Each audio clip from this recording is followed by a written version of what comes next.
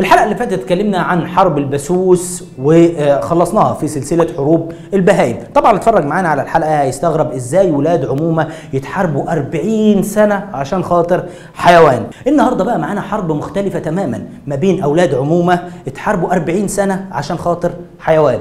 حلقة جديدة من البصاص فاهلا بكم. الملك النعمان بن المنذر طبعا كلنا عارفينه من قصة عنترة اللي طبعا عنترة راح يعني هبق عليه يعني وقال له لو سمحت عايز ألف ناقة حمراء كده معلش إيه أستأذنك فيهم عشان خاطر أكمل نص ديني وأتجوز عبلة زي ما كلنا عارفين. الملك النعمان ابن المنذر كان آه، موجود في العراق وكان عنده قوافل آه، حجاج وتجارة بتعدي في شبه الجزيرة العربية وعشان مناطق الصح... الصحاري يعني فيها كثير من آه، قطاع الطرق كان متفق مع قبيلة عربية شهيرة اسمها بنو ذبيان إن هم يحموا القوافل دي وكان مقابل بيديهم يعني فلوس وبيديهم عطايا وبيديهم هدايا عشان خاطر تأمين القوافل بتاعته. ومع هذا تعرضت إحدى القوافل لاعتداء من قطاع الطرق. هنا الملك النعمان اتعصب وقال لك لا ما ادفعش كل ده على الفاضي وقرر إن هو ينقل مسؤولية حماية أو تأمين القوافل من بنو ذبيان إلى ولاد عمهم بنو عبس. بنو عبس كانوا ولاد عمومة لبنو ذبيان زي الحلقة اللي فاتت ما بين بني بكر وبني تغلب. زعيم قبيلة عبس اللي هو آه، القيس بن زهير آه، العبسي اشترط على الملك النعمان بعض آه، الشروط والهدايا أو مزيد من العطايا والهدايا. وهنا أصيبت قبيلة ذبيان بالغيرة وإن الغيرة في الحرب خطيرة. قالوا بلاش يعني موضوع الحقد والغيرة وخلينا نطلع نروح لبنو عبس ونشوف معاهم حل وسط. قائد قبيلة بنو ذبيان وهو حذيفة بن بدر قرر إن هو ياخد أخوه حمل بن بدر ويروحوا لقبيلة عبس وآه من حمل من شر ما حمل. لما راحوا القبيلة لقوا هناك آه، سباق خيل. وكانت العرب يعني معتادة إن هم بيعملوا يعني سباق خيل لمسافات طويلة. كان ممكن السباق يعني يقعد يعني من 20 ساعة ليوم واتنين. والناس بقى بتطلع وتفضل قاعدة على الطرقات زي الماراثونات اللي بنشوفها دلوقتي ويجيبوا أكل وشرب يعني اللي منظم الخيل أو السبق هو اللي كان بيجيب لهم أكل وشرب لحد ما الخيل توصل بالسلامة. حد اقترح اقتراح ما يعلم به الا ربنا وقال لهم إيه رأيكم يا جماعة نعمل سباق بيننا وبينكم؟ بنو عبس شاركوا بالحصان داحس. وبنو آه، ذبيان شاركوا يعني الحصانة آه، آه، الغبراء. داحس لم يكن عليه غبار كان سريع جدا. والغبراء تقريبا كان عليها غبار يعني غبراء يعني كانت يعني سريعة جدا ولكن أقل أو أضعف شوية من داحس طيب اللي يكسب هيستفيد إيه؟ في كذا رواية في الموضوع ده. في رواية بتقول إن هم اتفقوا إن اللي هيكسب هو اللي هيأمن الطرق وفي رواية بتقول إن اللي هيكسب هو اللي هياخد عطايا الملك النعمان. وفي رواية ثالثه بتقول إن اللي هيكسب كان هياخد 100 ناقة. حمل خطط لدنيئه كبيرة. جمع رجالته وقال لهم بقول لكم يا رجالة أنتوا تقعدوا كده إيه في الإيه الأزقة والطرقات. لقيته داحس اللي متقدم حل عليه جدع ومش عارف إيه وحاولوا إن أنتوا تأخروه. لقيتوا الغبراء هي اللي سبقت سيبوها تعدي. بالفعل داحس هو اللي سبق الغبراء ورجاله حمل طلعوا عليه وحاولوا إن هم يعطلوه. بالفعل عطلوه وكسبت الغبراء. الموضوع مع ذلك اتكشف. تقريبا أخبار اتسربت هوب يتأكدوا إزاي راحوا شافوا الفار الدنيا اتقلبت. الدنيا اتقلبت والنفوس شالت. والموضوع يضايق بصراحة. ده إحنا في ميدل لما كان حد يستخدم البازوكا رغم إن قايلين ما حدش يستخدمها كنا بصراحة بنتعصب. بس مش لدرجة إن تقوم حرب. نفس السيناريو اللي حصل الحلقة اللي فاتت أنا رأيي نجيب الحلقة اللي فاتت ونغير بس الشخصيات هنلاقي نفس كل شيء بيتكرر زي ما هو. قبيلة بنو ذبيان التف حواليها قبائل أخرى وكان في قبيلة بنو طيب. ودي دخلت الحرب لأن كان عندها طار يعني مع بنو عبس قبل كده يعني إيه أغاروا عليهم فعرفوا إن في عركة قال لك يلا نخش معاهم. والقبيلة دي مهمة جدا لأن هي اللي كتبت نهاية عنترة ابن شداد. الحرب قعدت تستمر وقتلى من هنا وقتلى من هنا وصولات وجولات وشهدت تألق كبير جدا لعنترة بن شداد. طبعا كلنا شفنا أستاذ فريد شوقي كان بيشيل النخلة إزاي ويضرب الناس. ولكن زي ما كانت شهدت تألق الكثير شهدت وفاة الكثير. عنتر بن شداد كان قتل أحد الأفراد من قبيلة بني طي ويقال أنه هو كان شيخا كبيرا. وهنا قرر أحد الفرسان من بني طي الانتقام منه. يقال أنه هو الليث الرهيس أو الأسد الرهيس المهم ما طلعناش يعني من الفصيلة.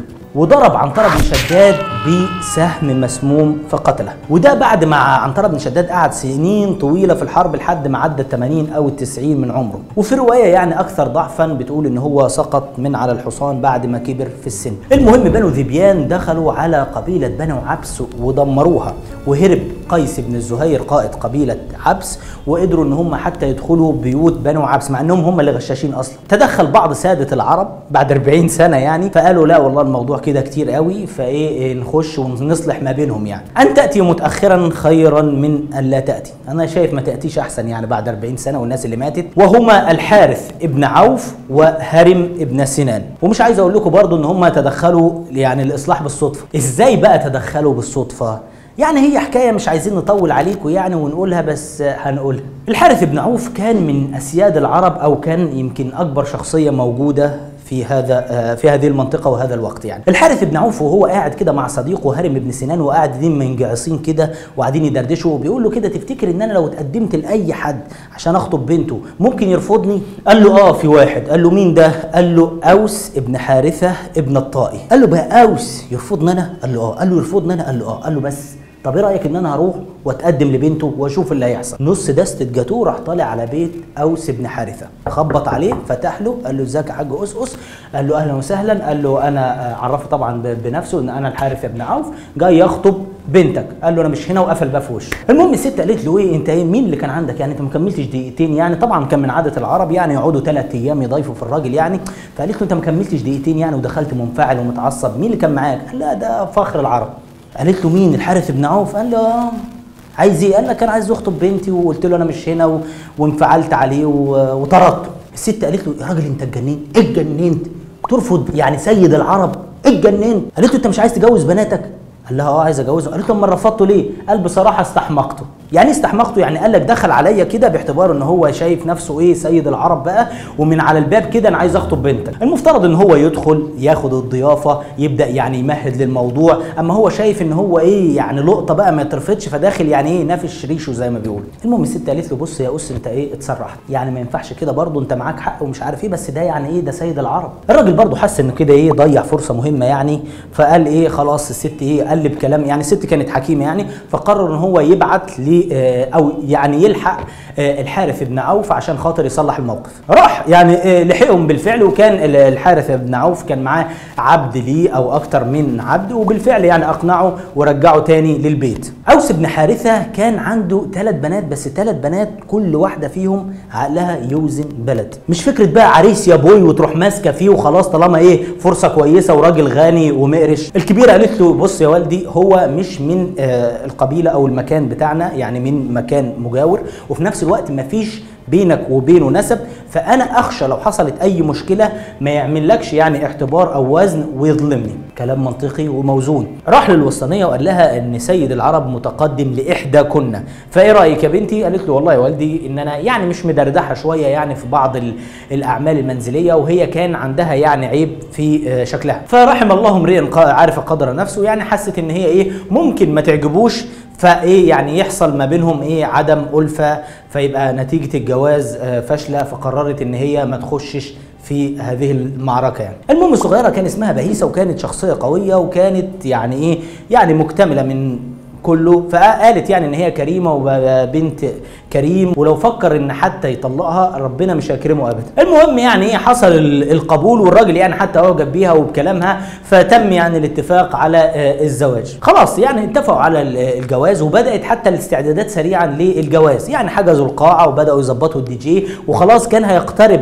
الجواز ولكن فاجئته بطلب غريب. قالت له أنت ليك نفس تتجوز؟ قال لها آه عادي. قالت له بقى عايز تتجوز والعرب واقعين وقاعدين يموتوا ببعض من 40 سنة؟ قال لها آه صح ما يصحش. وراح واخد صاحبه إيه هارم ابن سنان قال له طب وأنا مالي يا لمب قال له لا هتيجي معايا ونعمل الصلح ما بين القبيلتين وتدفع معايا الديات. قعدوا قادة بني آه ذبيان وبنو آه عبس وفعلا تعهد بدفع الدية وكانت 3000 بعير تدفع على ثلاث سنين. وهنا توقفت حرب دامت ل 40 سنة وراح ضحيتها العشرات أو المئات من أبناء القبيلتين. حرب البسوس أشعلتها امرأة وحرب داحس والغبراء أطفتها امرأة. حتى شوفوا التشابه وصل لدرجة إيه؟ إن اللي وقف حرب آه البسوس هو الحارث بن عباد واللي وقف حرب داحس وغبراء هو الحارث ابن عوف. مشكلة تغلب وبكر.